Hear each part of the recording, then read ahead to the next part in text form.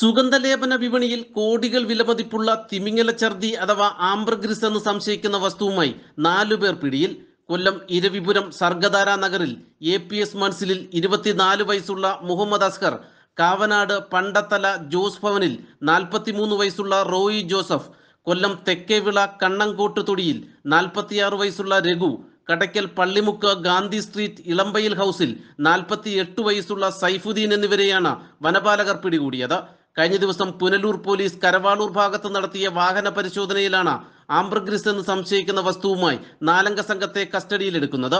വന്യജീവി നിയമപ്രകാരം ഷെഡ്യൂൾ രണ്ടിൽ ഉൾപ്പെടുന്ന ആംബ്രഗ്രിസ് കൈവശം വെക്കുന്നതിനോ കൈമാറുന്നതിനോ അനുമതിയില്ലാത്തതിനാൽ കസ്റ്റഡിയിലെടുത്തവരെ അഞ്ചൽ റേഞ്ച് ഫോറസ്റ്റ് അധികൃതർക്ക് കൈമാറുകയായിരുന്നു.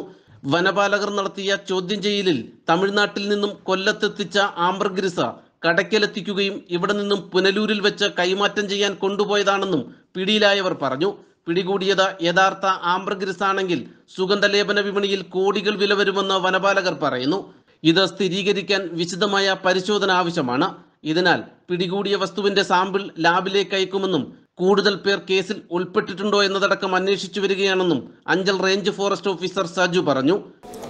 കഴിഞ്ഞ ദിവസം പുല്ലൂർ പോലീസ് കരവാളൂർ വെച്ച് വാഹന പരിശോധനയ്ക്കിടയിൽ നാല് ആംബർഗീസ് ആംബർഗ്രീസ് എന്ന് സംശയിക്കുന്ന സാധനങ്ങളുമായിട്ട് നാല് പേരെ കസ്റ്റഡിയിലെടുത്തിട്ടുണ്ട്. ഇത് ആംബർഗ്രീസ് വന്യജീവി സംരക്ഷണ നിയമപ്രകാരം സംരക്ഷിക്കപ്പെടുന്ന ജീവിയുടെ ജീവിയിൽ നിന്ന് ശേഖരിച്ചാണെന്നുള്ള സംശയത്തിൽ വന്യജീവി സംരക്ഷണ പ്രകാരമുള്ള കേസ് എടുക്കുന്നതിലേക്ക് അഞ്ചൽ ഫോറസ്റ്റ് റേഞ്ചിന് കൈമാറിയിട്ടുണ്ട്. അതിന്റെ അടിസ്ഥാനത്തിൽ ഈ നാല് പ്രതികളെയും സംശയിക്കുന്ന സാധനങ്ങൾ ആംബർഗീസും നമ്മൾ കസ്റ്റഡിയിലെടുത്തിട്ടുണ്ട്. ഇത് വിദഗ്ധ പരിശോധനയ്ക്കായി ലാബിൽ അയച്ച് റിസൾട്ട് ലഭ്യമാക്കേണ്ടതുണ്ട്.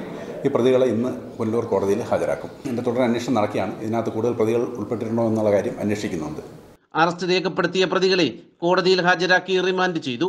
കേരളത്തിൽ ആംബർഗ്രിസ് കൈമാറ്റം ചെയ്യുന്നതും കൈവശം വെക്കുന്നതും സംബന്ധിച്ച് മൂന്നോളം കേസുകൾ മാത്രമാണ് പിടിക്കപ്പെട്ടിട്ടുള്ളത്. നാട്ടുവാർത്ത കുളത്തൂപ്പുഴ.